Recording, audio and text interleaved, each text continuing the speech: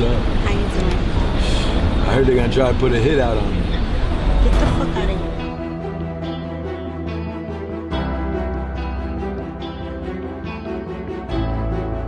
I know they're gonna try to kill me. Yeah, motherfuckers are gonna try. So you gotta have Devin Clark sitting in Suge Knight's BMW, the front seat. I don't even want Suge to know that we did this.